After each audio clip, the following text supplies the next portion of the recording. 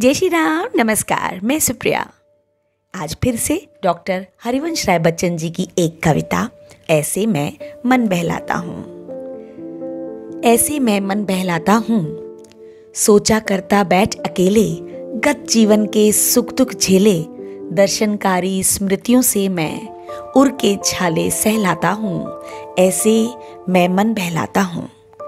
नहीं खोजने जाता मरहम, होकर अपने प्रति अति निर्मम उर के घावों को आँसू के खारे जल से सहलाता हूँ, ऐसे मैं मन बहलाता हूँ।